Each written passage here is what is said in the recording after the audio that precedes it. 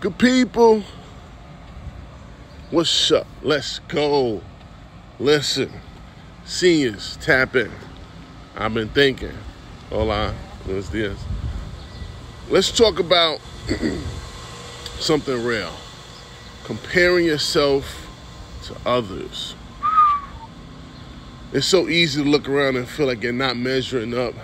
Maybe a friend got into their dream school, or someone else seems to have it all figured out, and here you are feeling like you're falling behind. But here's the truth everyone's journey is different, and your worth isn't determined by what someone else is doing. The reality, well, comparison is the thief of joy. It blinds you to your own unique strengths and achievements. Instead of focusing on what others have, take a moment, a moment to recognize how far you've come. Celebrate your wins, big or small, because they all matter. You're on your own path, and it's okay if it looks different from everyone else's. Remember, you are enough just as you are.